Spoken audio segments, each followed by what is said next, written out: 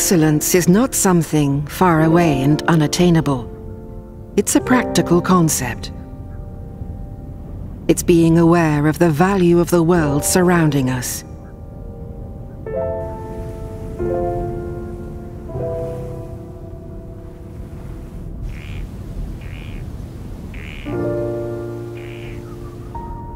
It's simply a daily commitment.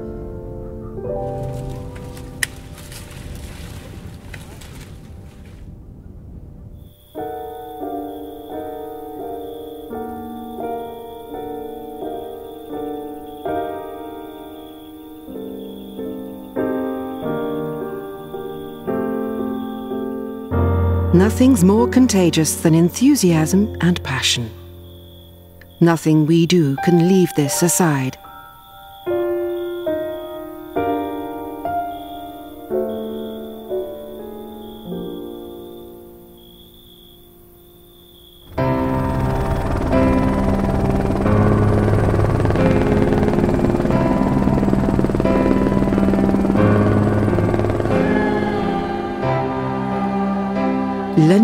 In Itinere is our ongoing journey. A voyage to create a wine that goes far beyond what it was originally meant to be.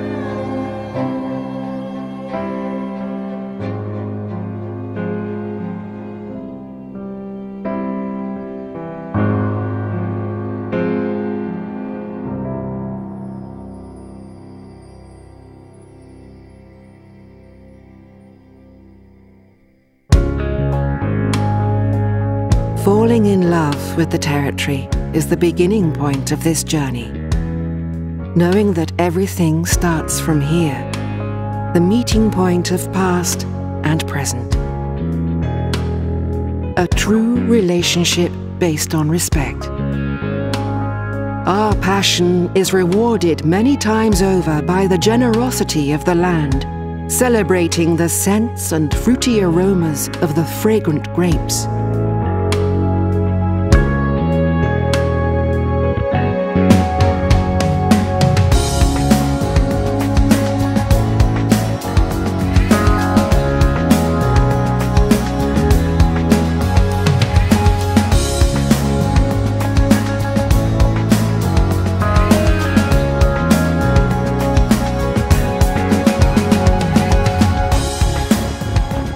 Harvesting and processing grapes in the cellars without ever forgetting the work done out in the vineyards.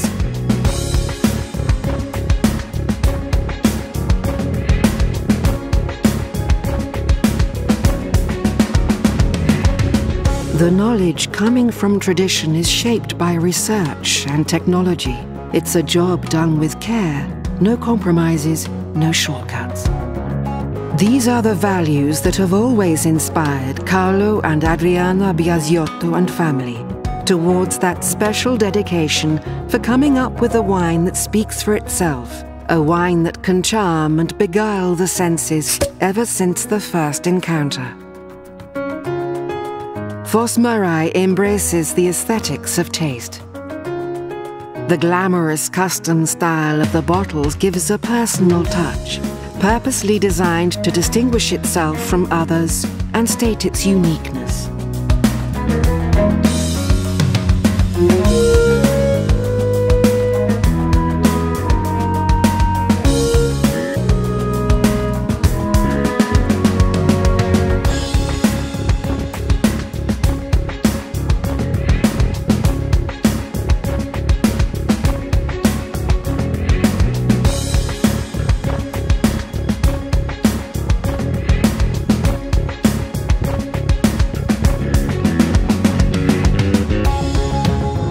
L'Aniter in Itinere. The journey goes on between vision and creativity, setting off from Guglia and crossing the world and becoming an ambassador of taste and sheer Italian class.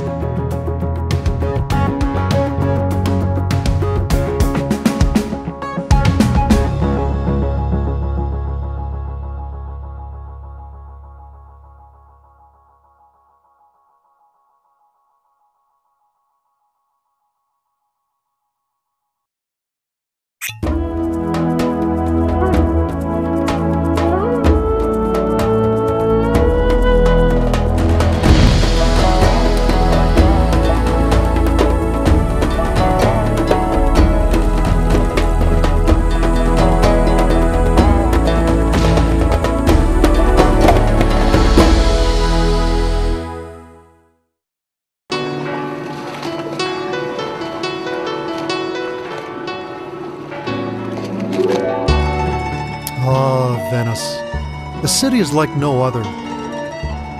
Since its beginning, it quickly became a center of influence and power. Its many waterways and canals slowly reveal its glorious past. Today, it's a must see destination for tourists from around the globe. Venice, in medieval times, was one of the most important ports in the Mediterranean and had an influence on the wine trade. Later, as the region developed its own winemaking culture, Veneto adopted a Greek technique of making wines from dried grapes, called appassimento. This continues to be a factor that makes the wines from this region unique and extremely popular. The vineyards of the Veneto wine region are renowned for a family of wines.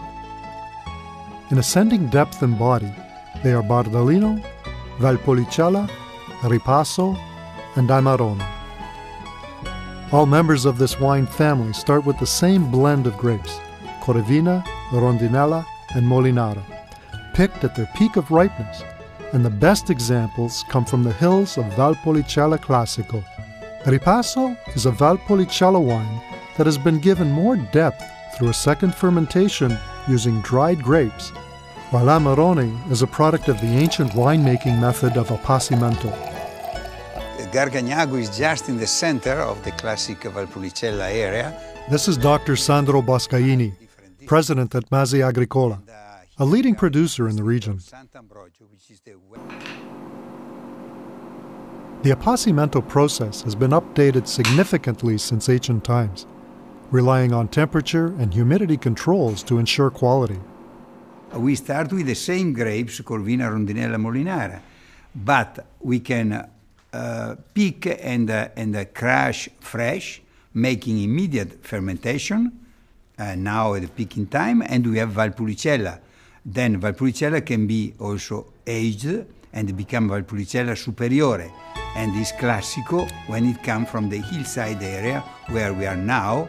Our vineyards, Masi, are totally in the classic area.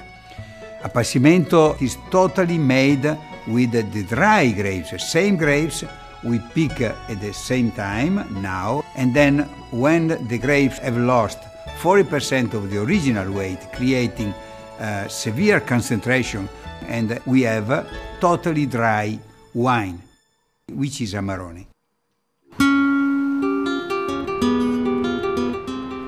Ah, the Amarone. Just south of Valpolicella is Verona, the city of love, the setting of Romeo and Juliet. I've come back here to look up an old love of my own, one I met many years ago the famous Amarone. Music is everywhere in this historic city known for its love of opera.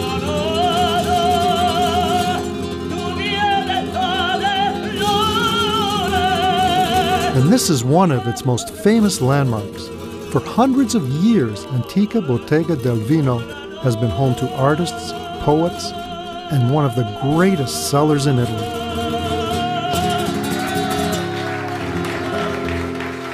It's like a shrine to the great Italian vintages. This is a fantastic place. Severino Barzani oversees the extensive collection.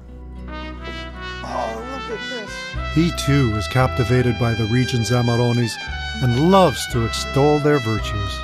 Uh, Amarone was something special for the families.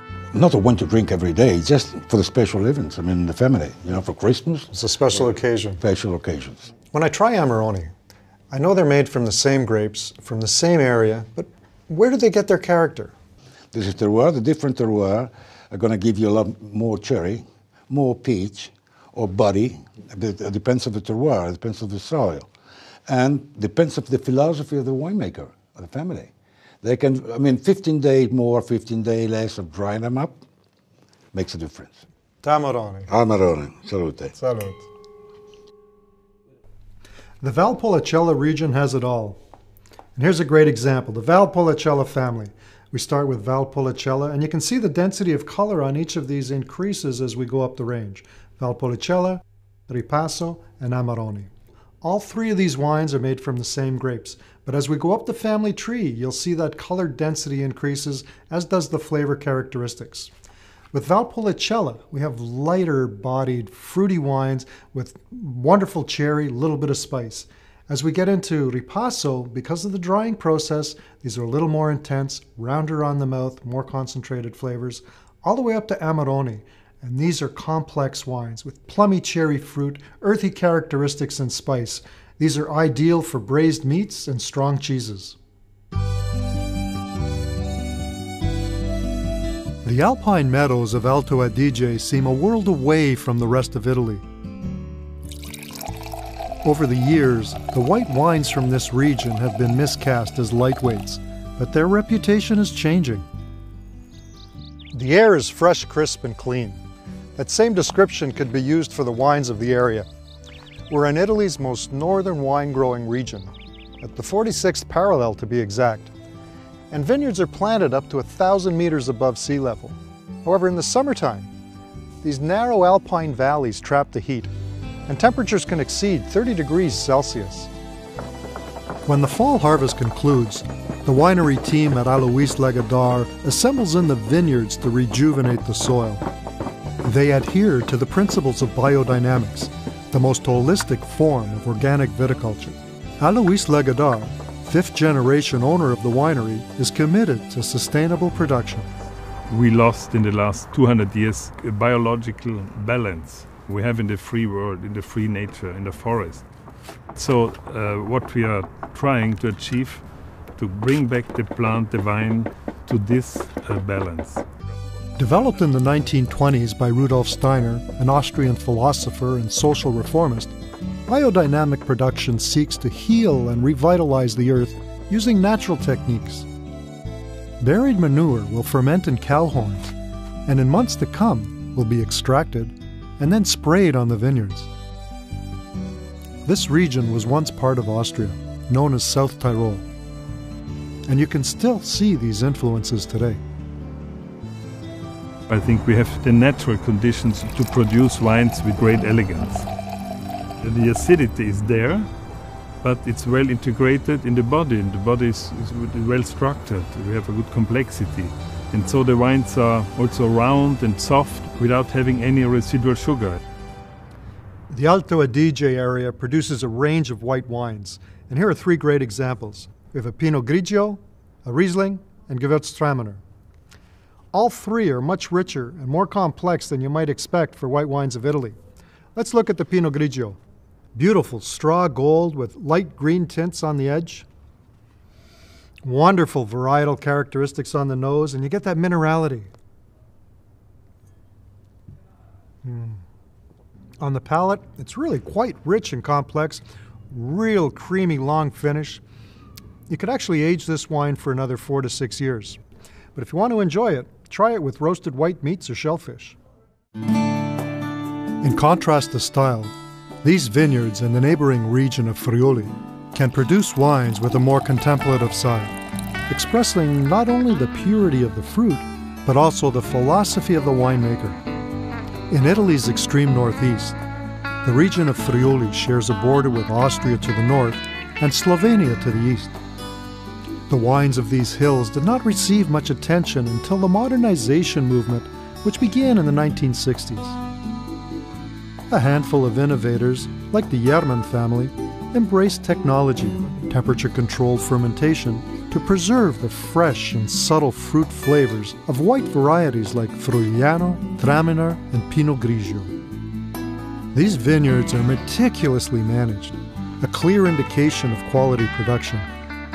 However, the character of the fruit changes dramatically from the flat areas to the steep hillside plots. Michele Jermann explains. In, uh, in the flat, it's more acidity, it's more uh, freshness of the wines, and here it's more structure, it's more body, it's more uh, passion inside the wines. Four generations of talent and passion have resulted in excellent value and quality in these great northern whites.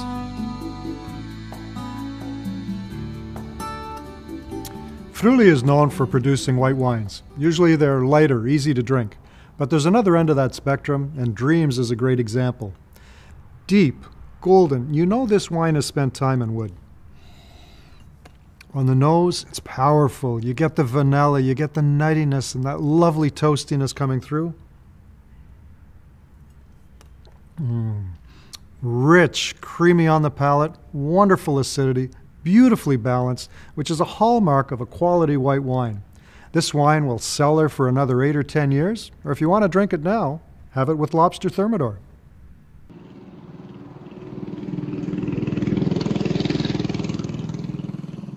Here in northern Italy, as we get closer to the Alps, the climate is generally cooler. And where you find cool climate winemaking, there's usually a thriving sparkling wine scene. Asti was my first introduction to Italian sparkling, but I want to show you Prosecco, brimming with melon and citrus and loved across the globe. It's easy to see why. There's a freshness that I find captivating. At the same time, it's casual. There's no pretension and it's great value. The grape variety is Glera.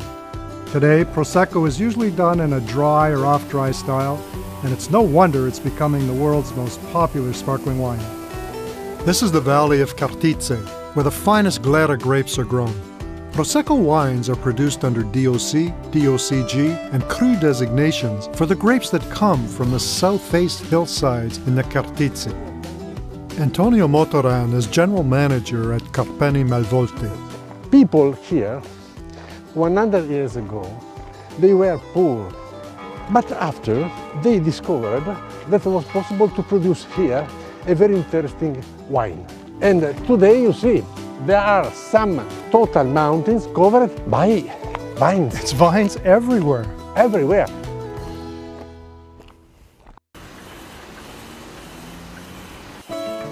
In 2009, for the first time, Italy surpassed France as the leader in sparkling wine production, largely due to the popularity of Prosecco. Inexpensive and ideal as an aperitivo, Prosecco is made using the Charmat method. The young wine is re-fermented in these pressurized tanks and meant to be consumed young and fresh. Antonio, help me understand what people love so much about this wine It's very easy to drink. For example, champagne is fantastic uh, sparkling wine. A lot of perfumes uh, is complicated. Prosecco is very easy.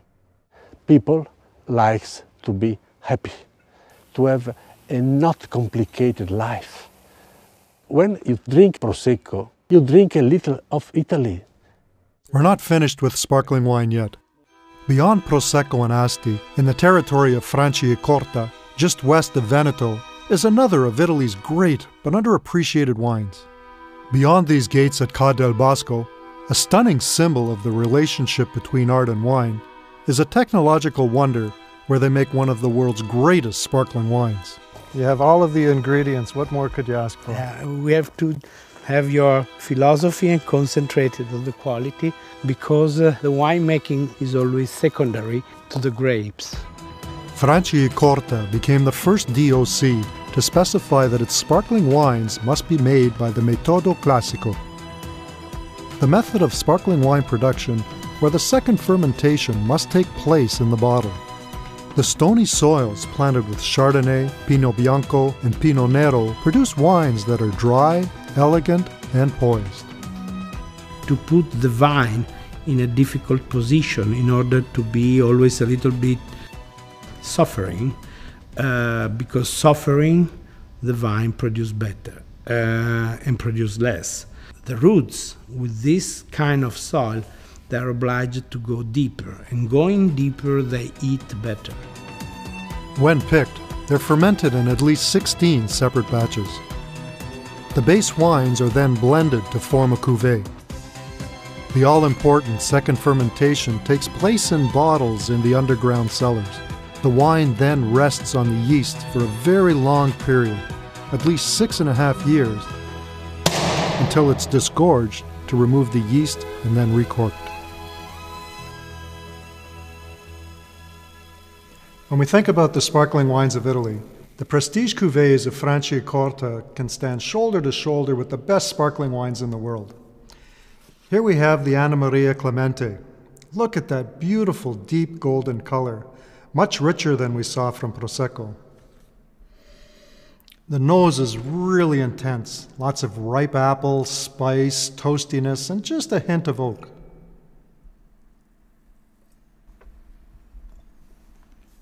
Mm. Much richer and creamier than Prosecco. Really intense and complex flavors on the palate. Again, you get that apple, toast, a little bit of smokiness, and a touch of oak. Beautiful long finish.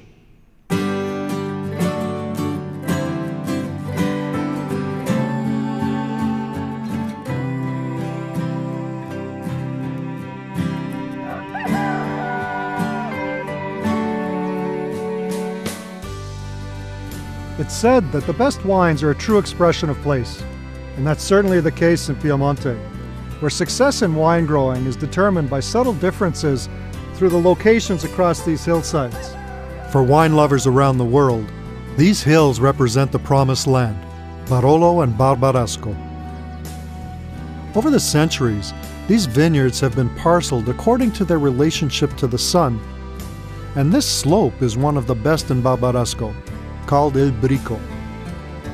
This is Cesare Benvenuto from the winery of Pio Cesare. Il Brico means uh, in our own dialect the peak of the hill. So in fact, it's right on top. Yes, it's really the peak of the hill uh, of uh, this hill of the Barbaresco area. And thanks to this 100% uh, self-exposure, we can grow such a great Nebbiolo bunches of grape it's a very light colored grape. It's almost translucent. Yes, this is a, one of the reasons why we have a, a very uh, a long maceration with the skin contact. And the skin is a, a very important uh, uh, matter for uh, for uh, for Nebbiolo because as you can see here, you see here, yeah. you can have a look over here. Is the skin of Nebbiolo is very very thin. It's very thin. and as much as uh, contact with the with the sun you can uh, have uh, the the best quality. So with such with such a thin-skinned grape, how do you get such color extract in the wine? Because uh, the color is very is very light, but thanks to the sun, thanks to the soil, and thanks to this uh, almost 28 30 days of uh, maceration with the skin content, we can have uh, such a great color also on the Barolo and Barbaresco. The origins of its name are somewhat unknown. Maybe it's the veil of fog that forms over the maturing berries. Nebbia is Italian for fog, or the word nobile, meaning noble in English. In either case, Nebbiolo is synonymous with quality. Prized by collectors for its long ageability, it's not uncommon for some Barolos to cellar for 30 or 40 years. There's no doubt that Nebbiolo is one of the great varieties of Italy if not the world. In the wine business, Barolo and Barbaresco are very well known for the unbelievable aging potential. In fact, at the first sight, it's a little bit, is a little bit tannic uh, with a very nice acidity. But uh, step by step, uh, when you uh, taste Barolo many times or Barbaresco many times, you will be totally uh, conquered by uh, the great flavor of this unique grape variety. The region of Piemonte sits in northwestern Italy along the French Swiss border. The growing areas for the great wines of Barolo and Barbaresco are centered around the town of Alba. These are not big wines in the same sense as a California Cabernet or Australian Shiraz. The powerful structure and high alcohol of Nebbiolo wines impacts an impression of strength and weight. And the finest examples? They show balance, elegance, and an emphasis on perfume and spice that's really hard to sum up in one word. Michele Chiarlo is another of the region's accomplished producers, and he's a man who's intimately acquainted with his land.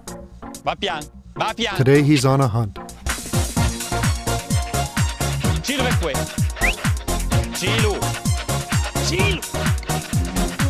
This dog was selected from many for his exceptional nose and specially trained to locate the rarest and most expensive food on earth.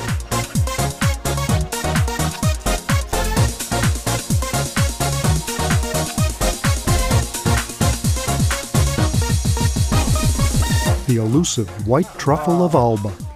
vieni qua, vieni qua. Well done. Cherished by chefs around the globe, they sell for over $5,000 per kilo. And like the great wines, people will pay for the best. Uh, we'll eat well tonight. this region grows other grapes like Barbera and Dolcetto, but Michele focuses on one varietal that reaches its pinnacle in the soils he knows best. So this is all Barolo here. All Barolo area, it is the most prestigious area, it is the most prestigious single vineyard. It's really a small area too. Very small area. It is uh, 1,800 hectares. For decades now, a feud has been brewing in these hills between the so-called modernist and traditionalists over the Barolo style. The modern approach seeks to make wines fruitier and younger drinking by shortening skin contact and fermentation, reducing aging time, and using more French barrique casks instead of the large oak botte. Tasting these young Barolos with Michele and his son Stefano, it's clear they represent the best of both worlds. Modern technique rooted in tradition.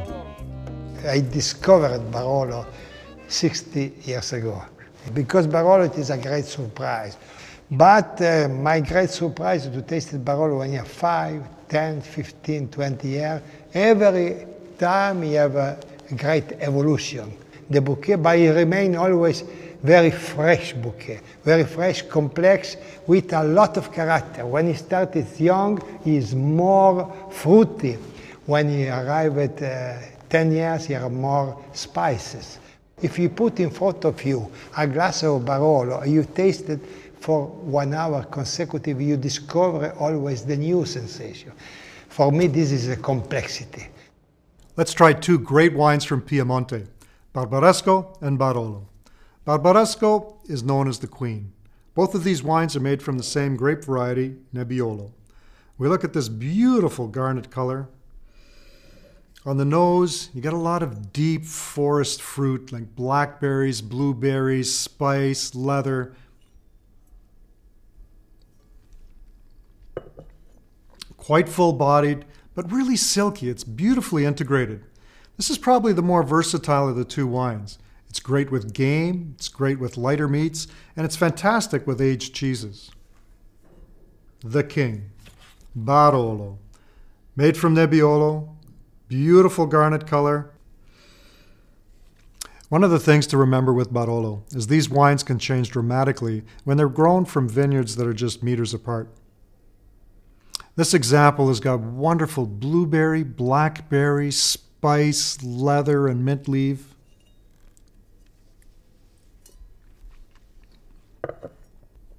In the mouth, it's a really complex, extremely well structured wine. This is a wine that needs time. Not only does it take time to create, it needs time in the cellar to really evolve. It's not the wine for the beginner, but it is certainly one to satisfy the collector.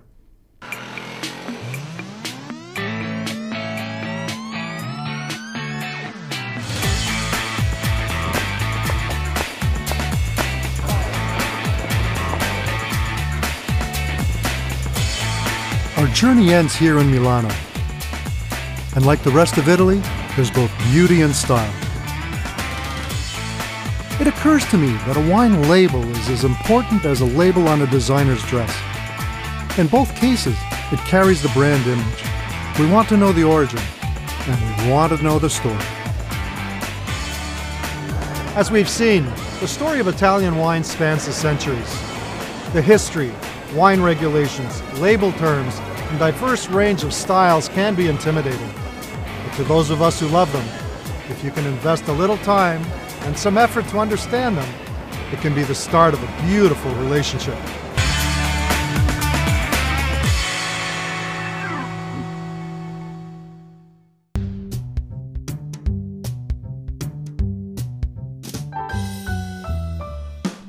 We wanted to uh, reproduce some of the uh, latest uh, novelties back in the uh, European capitals. In Milano you find such stores um, on, since uh, last year, so it's uh, something really new. Also in Italy, in Barcelona there is another one. We thought that uh, Philippines and Metro Manila in particular was ready for such a concept and this is what we have decided to do. We came up with something new for this. The name is Massimo Trulli, Fashion, Food and Wine. So when you talk of fashion, in Italian fashion, you talk about bags, shoes. So since we have the brand, we're partners with, uh, with Massimo Trulli, the, the artist. We came up with a boutique and then we are showcasing also the furniture line that he has come up with a few years ago only. No? It's a recent uh, development. And then since we're importing the wines and also the deli, the Italian, all Italian wines, it's here also in, the, in, in, in this concept. And then we have also the restaurant, so that, but we are serving international food. So the, the, the cuisine is international, so you can enjoy everything here. You can be here to dine or just to have a glass of wine, or you can be here as well to shop, or you can do everything. So that's what we want uh, the, our clients to, to have, a different experience. There is so much competition, not by chance we are in a LRI Design Plaza. And we are here because we have uh, something to offer also from this point of view, the furniture. This is furniture from a designer, premium designer, which is unknown in, in the Philippines. And we are uh, exclusive to him and he's one of our partners.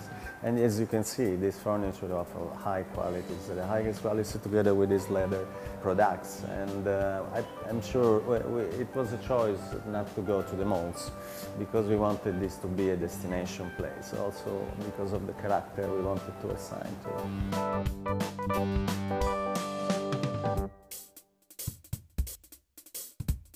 If you can see all the, the details are thought of, we thought of the lights, everything. You can you you see the furniture. The furniture they are numbered furniture. They are 100% made in Italy, and they are authenticated. There is a certificate of authentication, of authenticity, no, from the from the the designer, and it is also signed by him.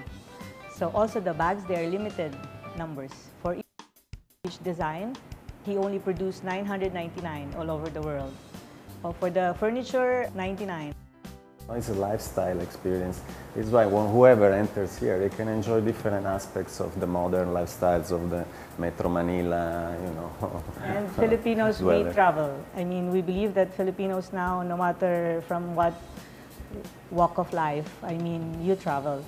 So we know that somehow they, they know this, all the elements of this place, they already know. Except that what we did now here is we put everything in one place. Yeah. So you will have a different experience. Like the wines that we're serving here, we're not just selling them. We educate people about them. We are both sommeliers of the Italian Guild. So what we do, every wine producing country has its own approach to wine. We are bringing here the Italian uh, wine way of, of life. We were uh, working close uh, with the design, interior designer and the architect that they did this. We wanted to make sure that uh, to convey what was uh, exactly our concept. It's not only a restaurant, it's not only a wine bar, it's not only a furniture shop, it's not only a boutique, it's all together, it's everything that you, you know, enjoy. I believe that uh, the things we buy, they somehow represent what we think or how we feel. So you can see furniture, you can have your entire living area and you want all the pieces there. But it, one piece can also accent only the, your space. You feel like you want it for your dresser, then you put it there. It depends on your style, but this is what I'm saying. We want you to express yourself. There are things that when you see, ah, that's me, we want that. We want, we want you to, to, to have that and to have a choice because you see everywhere they have classic and really very nice furniture but the furniture that we have, that's something different, something alive, something with Original, colors. unique, yes. and you just think of the five-star hotels and casinos as well.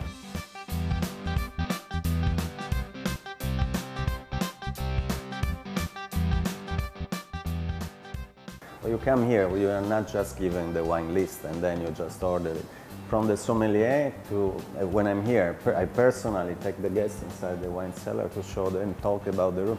We have some, uh, uh, for instance, a, a, very old grape press over there. We do wine education. And uh, we can uh, explain one by one all our wines. And our wines are, the quality is very high as well. You were talking about quality. So our uh, low-end wine is, is so good that in the five-stars hotels, at the, their, you know, uh, lower ends uh, cannot be even comparable. We're doing this for passion. I'm a lawyer. I'm still practicing. Uh, Mr. Stepanuti here was a former diplomat. So we're doing this because we want to give uh, our clients a different experience. So this is a touch that is not I mean, present in any other establishment. Because, uh, I mean, you can replicate the concept, but the personal touch, the experience that we have, is something you cannot replicate because it's our touch, it's not anyone else's.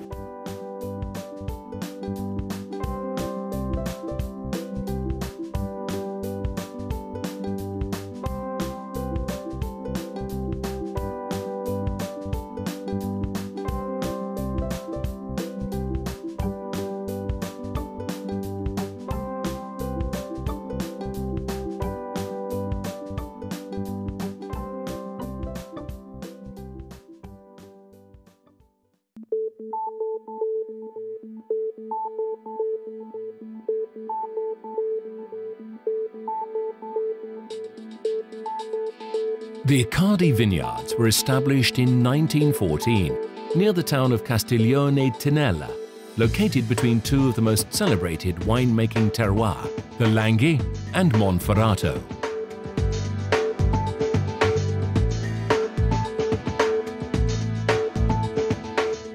In the early 1960s, Cavalier Pierino, with the support of his diligent wife Rosanna, decided to start making their own wine from the grapes they grew rather than sell them to the industry.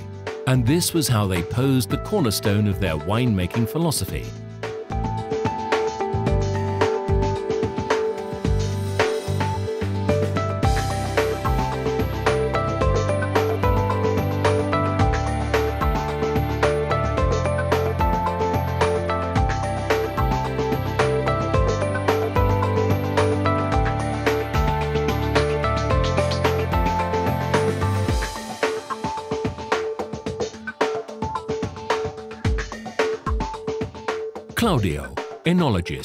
Has furthered the work begun by his father by enlarging the vineyards to their present 75 hectares, partly extending around the original historic centre of the company, while the rest is distributed in various zones throughout the Langhe and Monferrato.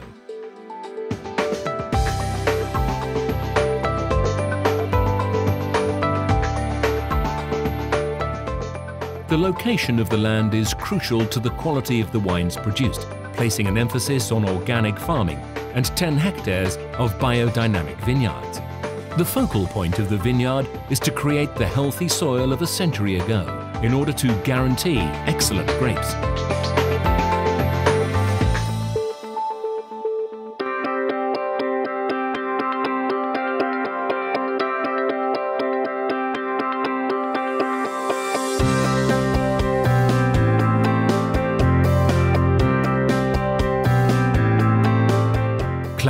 And Maria Grazia, notwithstanding their distinct personalities, find harmony and balance through hard work, with Claudio attending the vineyards while Maria Grazia deals with international marketing.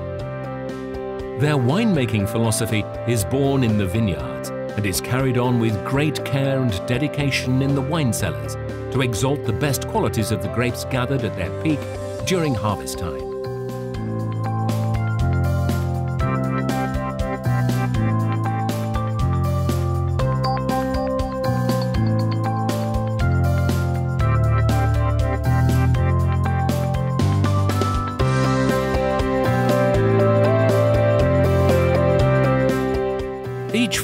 The winemaking process is enveloped in its own particular rite, which testifies to the love and passion they have for this work.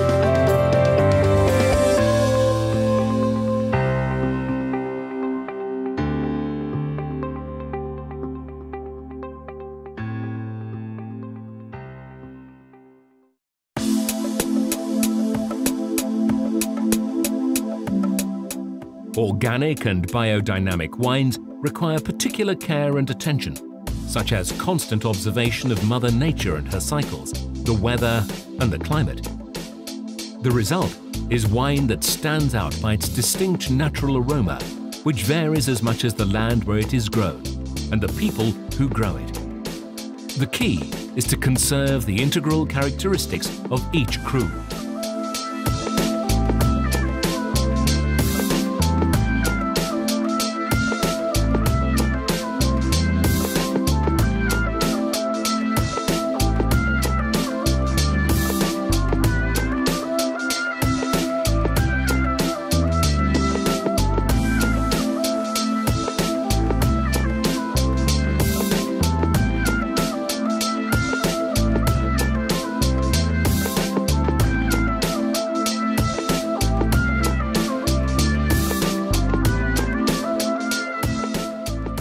Wines tend to be fruity with extreme refinement, smoothness and elegance, allowing the mouth to relish their balance as soon as they are bottled. Even our most important wines can be enjoyed without aging.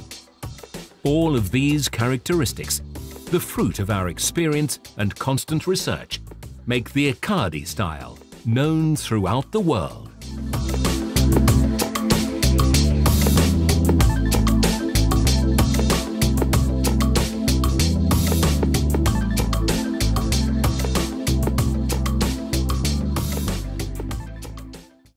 Now you also brought a Barolo today, which is made from the Nebbiolo grape.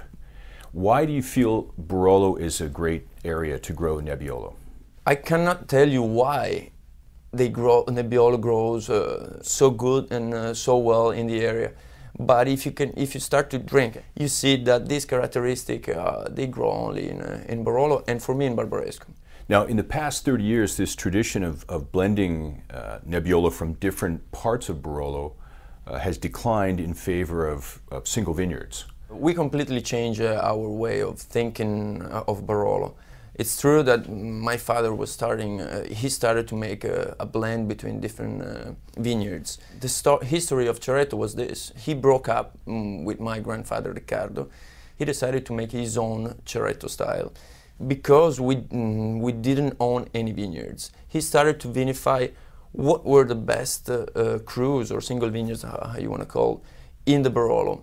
Uh, to understand what to buy, he also understood that there was so many big difference because of the exposure, because of the altitude, because of the soil, that probably they were um, good enough to subline and to start to make uh, single vineyards.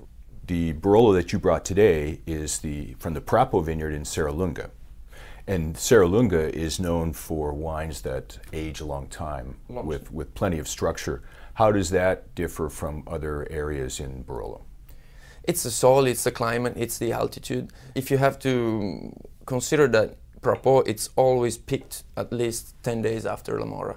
So it's, um, it's a completely different terroir in uh, 10 kilometers of distance. Right now, what we're going to drink, it's a Serralunga wine being higher level, uh, higher altitude makes you, I can say, not easier, but better wines because you can leave the grapes a bit more to ripe. Where in uh, vineyards facing south or more uh, or warmer com compared to Serralunga, you cannot wait and you have to pick because if not, you will make a gem or a really, really high, high alcohol wine.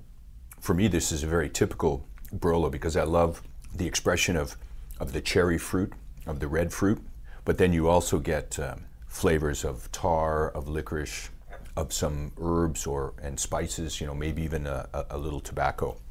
Alessandro, what's your favorite part of making Barolo? Making Barolo is an, is an art, but the artist is the climate and the terroir. So what I have to do is to respect the terroir because I cannot change the climate. So I'm learning a lot because before I was starting my uh, harvest knowing already my target. Today is completely changed. If you talk about Arneis, it's more um, a wine that I know what I expect from this wine, so I'm trying to uh, reach it every year. In the Barolo, I'm not. I'm not because uh, vintage could be thinner, another one could be fatter, one is tannic and one is not.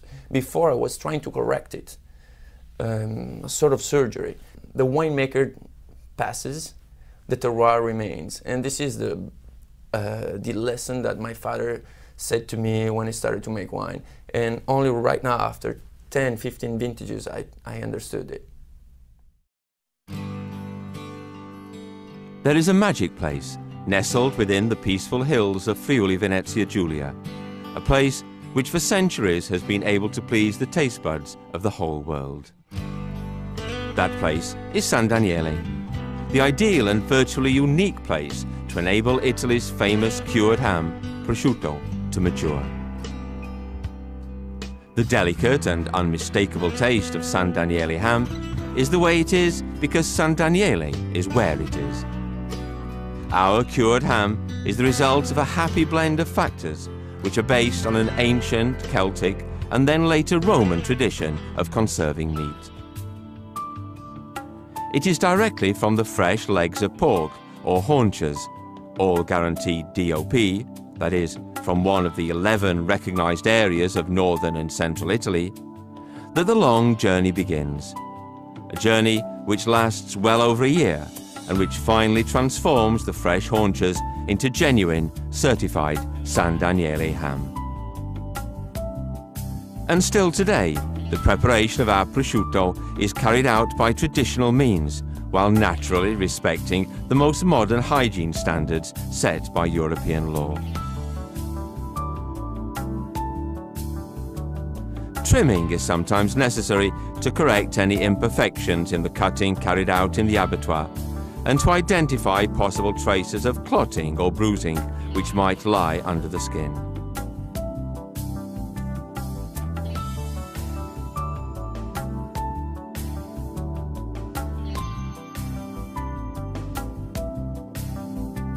In order to earn the valued DOP recognition, the legs of pork delivered into the production process must not weigh less than 12 kilos and must always conform to the strict health and hygiene standards imposed and overseen by the Consorzio.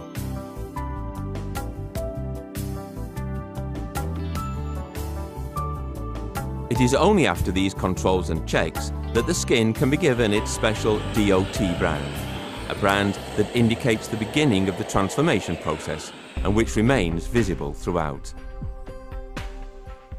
A series of signs impressed upon the outer skin complete the process of identifying each ham.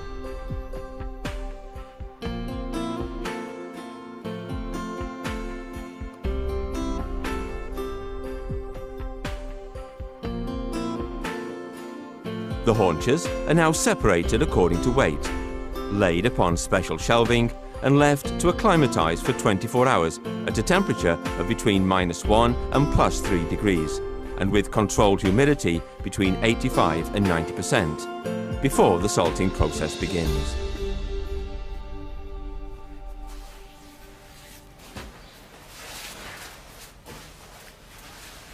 The salting of San Daniele ham is carried out naturally and follows the golden rule which declares that the leg must remain under salt for one day for every kilo of weight.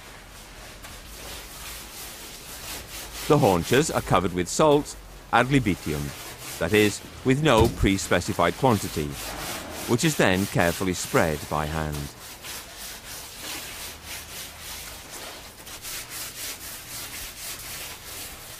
The salt used in this process is exclusively Italian sea salt, prepared with medium fine grains and high relative humidity.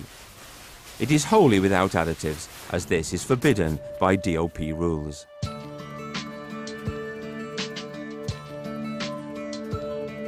The recognised practice establishes that the pork haunches must be laid horizontally in a special environment, known as of the first salting, and kept at a constant temperature of between minus 1 and plus 4 degrees, with 90% humidity.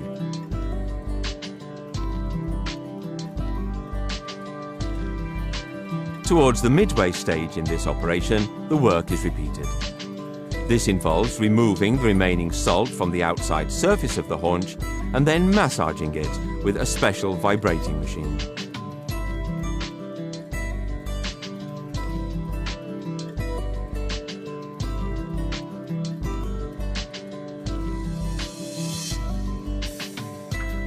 To ensure the removal of every remaining trace of liquid from within the main femoral artery, special manual pressure is exerted on the haunch. San Daniele ham can be recognized not only by its characteristic aroma, but also because of its typical guitar shape, which makes it unique and clearly recognizable at first sight.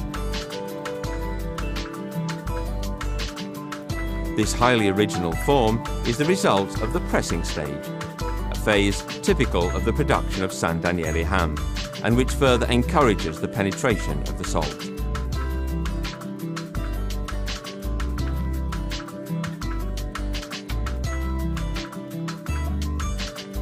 And still today, this process is carried out as it once was, without the use of hydraulic presses.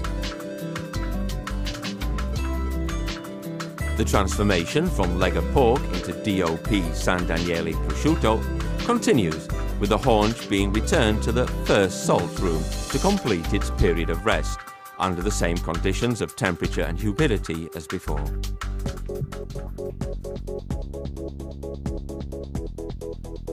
After pressing, the haunches are hung for some 70 days in special cells with careful environmental controls passing from 4 to 6 degrees to 7 to 9 degrees centigrade, with a variable humidity of from 70 to 85%.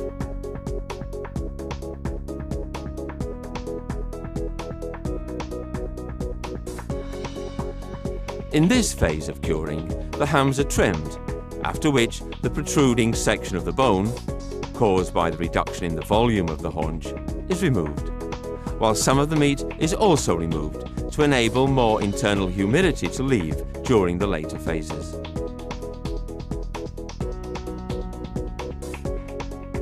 The next step is the refreshing phase and rinsing the haunch. Drying and pre-maturing are complementary steps and completes the delicate process of controlled dehydration and preparation for maturing, which takes place during a carefully balanced passage from temperature-controlled environments to a natural temperature. The haunches remain in pre-maturing for 35 to 40 days, with increasing drawing times. And after so much work, finally, a well-deserved rest. Yes, because it is especially through rest that all the characteristics which give San Daniele ham its unique taste are awakened. The hill of San Daniele is morainic and not far from the foothills of the pre-alpine mountains and is washed along its base by the waters of the river Tagliamento. Cold air from the north, warm air from the Adriatic, united by the river flow, create natural air conditioning. This gentle but consistent breeze makes San Daniele the classical textbook example of the ideal conditions for maturing prosciutto and it is through these banks of windows that this special air, which makes San Daniele's perfect microclimate, can enter the rooms dedicated to natural maturing.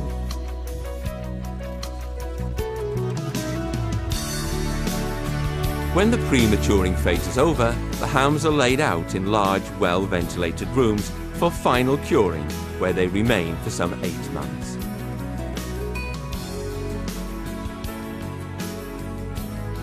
Within these rooms, normally towards the seventh month from the beginning of the whole process, a first light larding is carried out.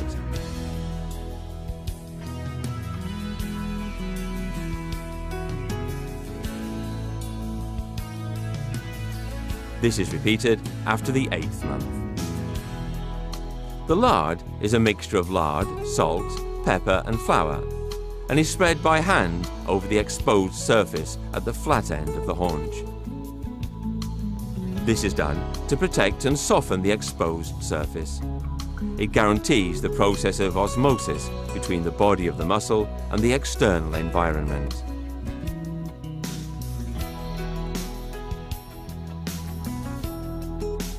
The nature of the climatic conditions within the curing room is controlled by opening the numerous windows and depends on the outside weather conditions.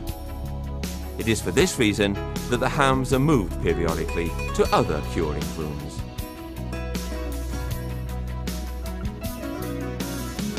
In the final, delicate stage, daily checks are carried out within the rooms.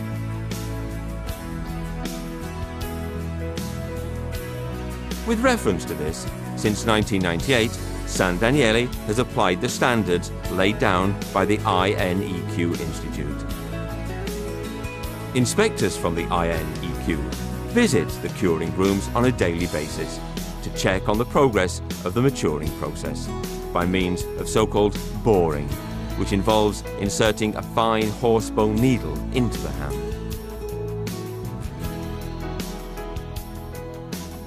This boring is carried out on the femoral artery and can detect either the classic aromas of San Daniele prosciutto or any traces of possible defects.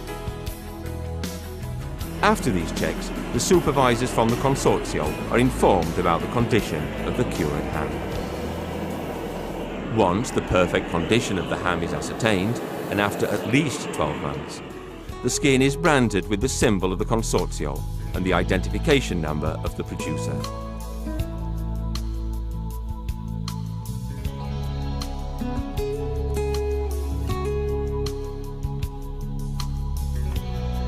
The prosciutto, now that the production cycle has been successfully completed, can be boned and packed whole or in sections. Or it can be sliced, but only within the area of production, and sold in modified atmosphere packaging.